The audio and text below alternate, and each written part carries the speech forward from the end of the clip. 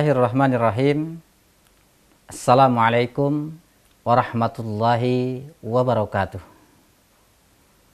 Pemirsa TVmu di mana pun berada dan juga adik-adik pelajar yang soleh dan soleha sampai bertemu kembali bersama kakak di sini dalam waktu Indonesia belajar. Pada bahasan kali ini, insya Allah kita akan menyampaikan materi kemuhammadiyahan tentang tugas alumnus Muhammadiyah. Artinya tugas siswa yang sudah lulus dari sekolah Muhammadiyah. Harus seperti apa? Harus bagaimana? Ada beberapa tugas yang harus dilaksanakan dengan baik oleh alumni siswa Muhammadiyah. Yang pertama dan yang paling penting yaitu memiliki prinsip iman serta tauhid kepada Allah Subhanahu wa taala. Kenapa harus memiliki iman dan tauhid kepada Allah Subhanahu wa taala? Adik-adik yang baik dan soleh dan soleha harus tahu bahwa tauhid itu adalah pondasi dalam hidup ini. Tauhid itu adalah dasar untuk segala amal perbuatan kita. Ketika amal perbuatan tidak didasari oleh tauhid, hanya akan bertemu dengan kesia-siaan. Tetapi ketika amal perbuatan kita didasari oleh tauhid maka insya Allah selain amal yang kita perbuat bisa bermanfaat juga akan bernilai di sisi Allah Subhanahu wa taala. Tauhid itu sangat penting. Ibadah tanpa ada tauhid itu hanya akan sia-sia bermuamalah tanpa ada tauhid itu hanya akan mendapat dunia saja. Kemudian akhlak tanpa tauhid juga itu tidak sempurna. Karena itu tauhid harus menjadi pokok dalam kehidupan kita. Ya. Baiklah pemirsa TVmu dan juga adik-adik pelajar yang soleh dan soleha kita lanjutkan. Kewajiban selanjutnya untuk siswa Muhammadiyah yaitu bagaimana menjadikan iman serta tauhid ini sebagai sumber dan dasar amalan hidup. Di awal setelah kita memiliki prinsip dasar bertauhid, maka bagaimana sekarang iman dan tauhid ini dijadikan sumber dalam kita beramal atau sumber dalam amalan hidup ketika kita beramal menjalankan perintah Allah kemudian dasarnya bukan tauhid itu akan sangat berbahaya. Bagaimana Allah Subhanahu wa taala memerintahkan kita untuk beribadah? Wa ma khalaqatul jinna wal insa illa liya'budun. Wa ma umiru illa liya'budullaha mukhlishina lahuddin tidak semata-mata aku perintahkan kamu sekalian manusia hanya untuk beribadah dan ibadah itu dasar dalam mukhlisina lahuddin yaitu keikhlasan. Dan ikhlas itu adalah ajaran tauhid. Dan ketika kita beribadah tidak ada keikhlasan di dalamnya, artinya sudah keluar dari rel tauhid maka lagi-lagi ibadah kita hanya akan mendapatkan kesia-siaan. Karena itu tauhid amatlah penting dijadikan prinsip hidup dan juga tauhid amatlah penting dijadikan sebagai sumber dasar amalan dalam hidup. Pemirsa TVmu dan juga adik-adik pelajar yang soleh dan solehah. Kemudian yang ketiga, kewajiban alumnus siswa sekolah Muhammadiyah adalah meneladani perilaku Rasulullah Shallallahu Alaihi Wasallam dan mempraktekannya dalam kehidupan sehari-hari. Kenapa ini harus tetap dibawa dan tetap menjadi kewajiban siswa alumni siswa Muhammadiyah? Jadi tidak hanya ketika menjadi siswa saja dia melaksanakan atau berbuat yang baik atau berakhlakul karimah. Tidak hanya waktu sekolah saja, tidak hanya waktu jadi pelajar Muhammadiyah saja, tetapi bagaimana diamalkan setelah keluar atau setelah menjadi alumni sekolah Muhammadiyah. Insya Allah ada pelajar yang baik, yang soleh dan soleha. Ketika kita bisa mengemban amanah dengan berakhlakul karimah begitu Rasulullah Sallallahu Alaihi Wasallam kita akan diliputi ketenangan dalam hidup ini. Kita akan terlihat bisa menjadi teladan di lingkungan kita minimal. Oh ini alumni sekolah Muhammadiyah ini. Oh anak ini alumni sekolah Muhammadiyah ini ketika memperlihatkan akhlakul karimah maka akan menjadi panutan. Nah akan menjadikan dia itu sebagai sosok sentral. Akan jadikan contoh oleh teman-temannya. Berbahagialah apabila kalian selalu membawa nilai-nilai akhlakul karimah dalam keseharian kalian. Berbahagialah adik-adik alumni yang sudah membawa kebiasaan baik di sekolahnya dengan berakhlakul karimah. Dia amalkan kesehariannya setelah dia keluar dari sekolah. Pemirsa TVmu dan juga adik-adik yang soleh dan soleha. Insya Allah bahasan tugas alumnus sekolah Muhammadiyah akan kembali setelah yang satu ini masih bersama kakak dalam acara Waktu Indonesia Belajar.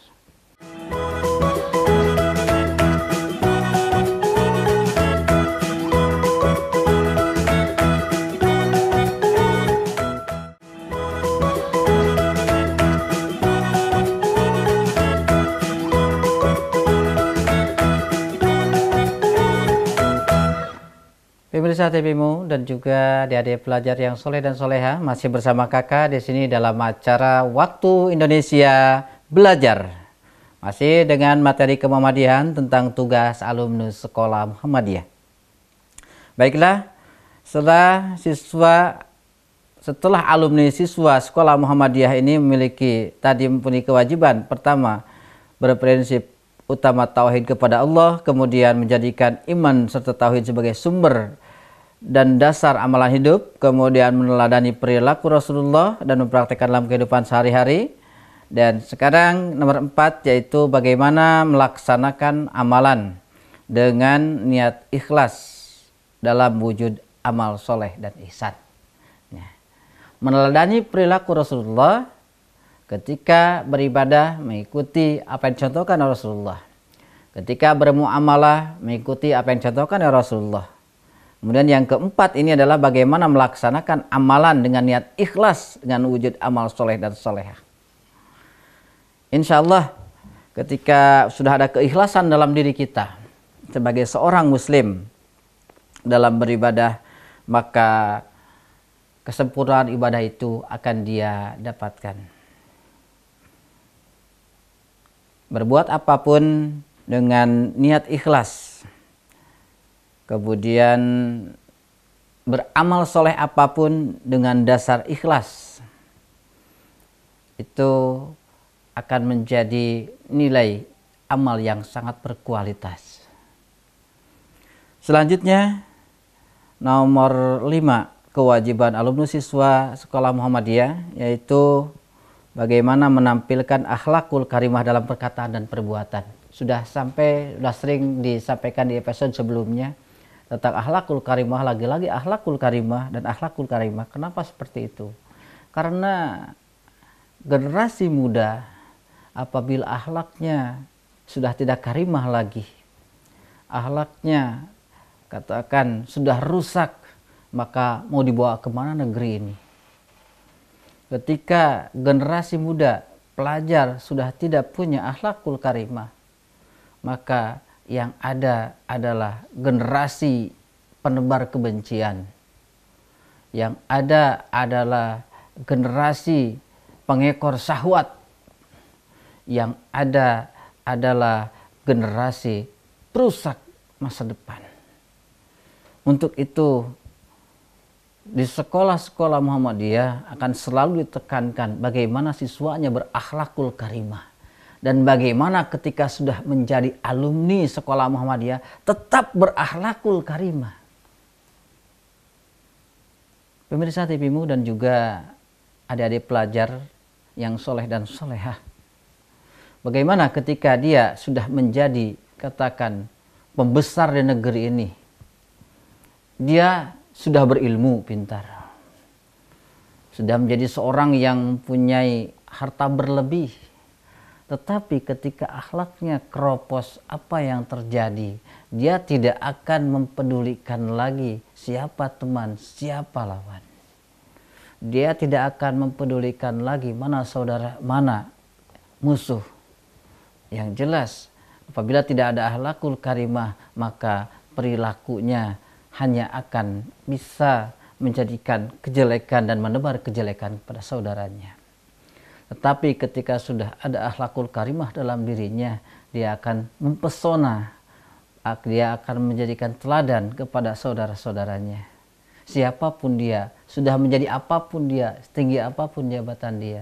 Kalau akhlakul karimah na jung maka dia akan menjadi suri tauladan dan tetap akan menjaga nilai-nilai keislaman dalam dirinya. Mudah-mudahan siswa Muhammadiyah seperti itu, alumni sekolah Muhammadiyah seperti itu. Selanjutnya, kewajiban siswa Muhammadiyah yang tak kalah penting, bagaimana selalu membersihkan diri dan jiwa dengan menjauhi perbuatan dosa dan maksiat. Sekecil apa pun perbuatan maksiat.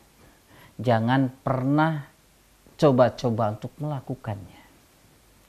Sekecil apa pun dosa, jangan pernah kita mendekatinya. Karena ketika kita sudah melakukan satu dosa, maka akan ada kemauan untuk melakukan dosa selanjutnya.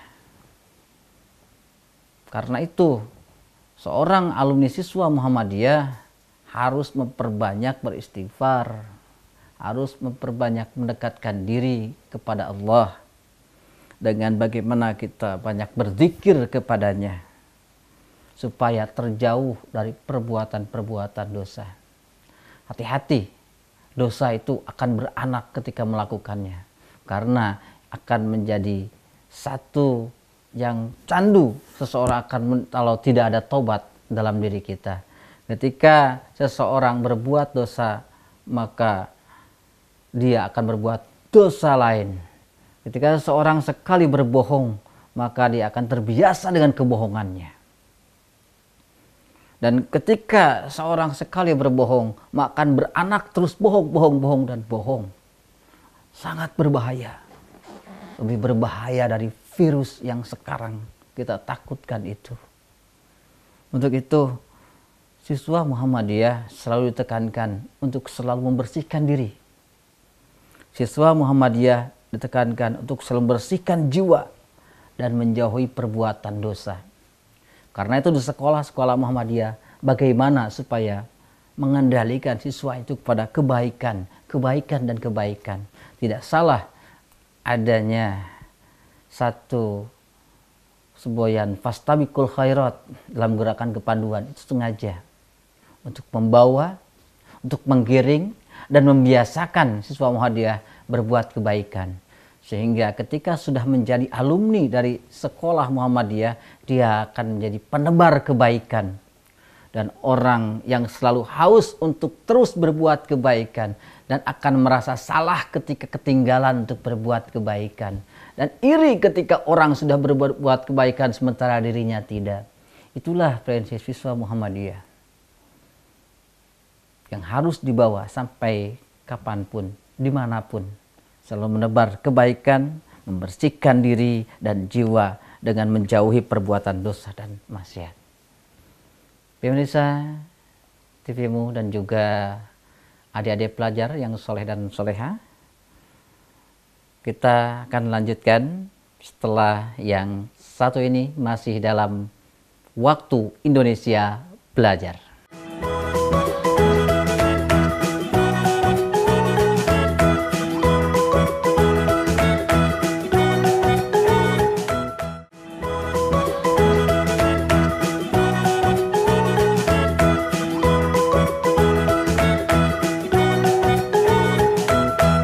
Pemirsa TVMU dan juga adik-adik pelajar yang soleh dan soleha Kembali bersama kakak dalam Waktu Indonesia Belajar.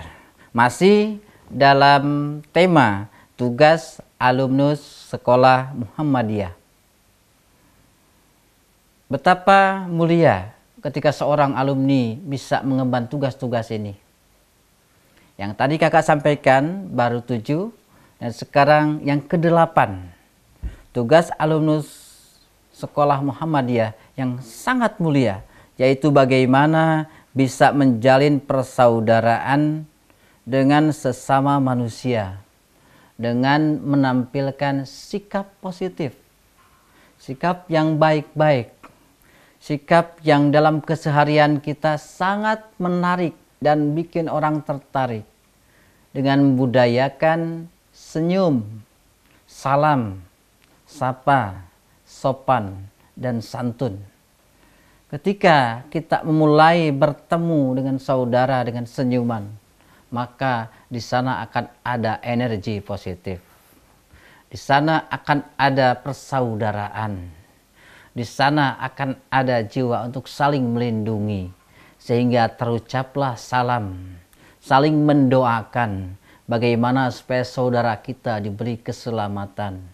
Dijawab pula dengan waalaikumsalam. Menyambut positif. Kita pun mendoakan yang sama buat saudara kita. Kemudian setelah itu diperindah dengan saling sapa.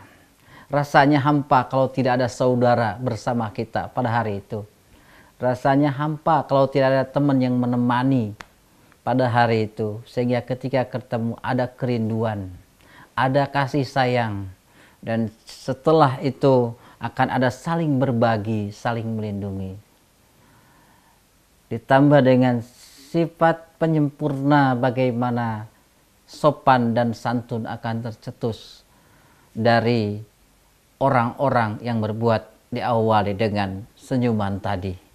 Karena itu seorang siswa Muhammadiyah dia akan selalu menebar persaudaraan itu, selalu menebar kasih sayang itu, dan selalu menjaga untuk selalu berkasih sayang dengan sesamanya. Dan dengan berkasih sayang inilah akan ada kepedulian, menjaga nilai-nilai kemanusiaan. Lagi-lagi ujung-ujungnya bagaimana dia akan mengemban semangat al-ma'un yang dicetuskan dulu oleh pendiri Muhammadiyah Kiai Haji Ahmad Dahlan. Bagaimana kepedulian itu ada yang diawali dengan kasih sayang. Dan bagaimana kasih sayang itu terpupuk ketika di dalamnya diperindah dengan saling lindungi.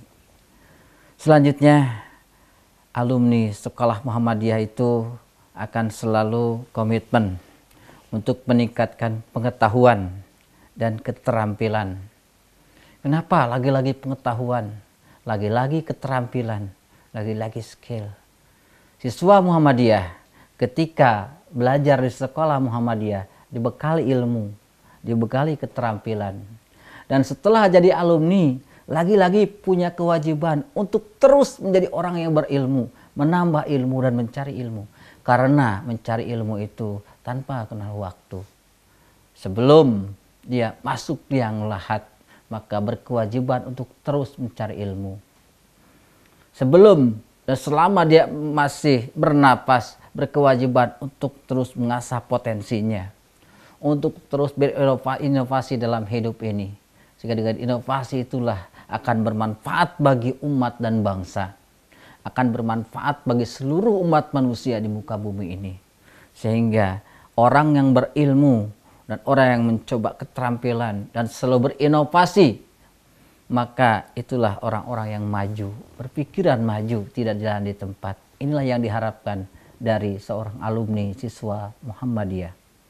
Kemudian yang terakhir yang menjadi amanah dan kewajiban alumnus sekolah Muhammadiyah yaitu bagaimana menampilkan sikap mandiri. Bagaimana dia bertanggung jawab, kerja keras, istiqomah, kerja ikhlas, kerja cerdas, dan selalu berbuat kebaikan. Pemirsa TVmu dan adik-adik pelajar yang soleh dan soleha, 10 tugas alumni siswa Muhammadiyah Mudah-mudahan kita bisa menjadi generasi umat dan bangsa yang kuat. Ketika kita sudah dibekali ilmu di sekolah Muhammadiyah, kemudian kita menjadi alumni sekolah Muhammadiyah, apa yang kita dapat bukan hanya sekedar ilmu tanpa amal, tetapi ilmu, amal yang di dalamnya dikuatkan dengan keimanan, dengan akidah yang kokoh. Insya Allah siswa alumni Muhammadiyah, siswa Muhammadiyah dan alumni sekolah Muhammadiyah akan menjelma menjadi generasi yang kuat, menjadi generasi yang percaya diri, menjadi generasi yang kokoh, yang siap untuk bersaing di masa depan. Untuk itu, semoga di materi tugas alumni siswa Muhammadiyah ini kita bisa merenung, terutama buat adik-adik pelajar, bersiaplah untuk menjadi alumni yang berkualitas. Untuk menjadi alumni yang haus dengan ilmu dan terus menuntut ilmu. Menjadi alumni yang kreatif, inovatif, yang berpikiran maju. Semoga dapat bermanfaat. Mudah-mudahan bisa kita amalkan di pembelajaran kemuhammadiyahan ini Demikian materi tugas alumni Sekolah Muhammadiyah dalam pembelajaran kemuhammadiyahan. Sampai berjumpa kembali di episode selanjutnya. Masih dalam waktu Indonesia belajar tetap di TVmu. Walhamdulillahirabbil alamin. Wassalamualaikum warahmatullahi wabarakatuh.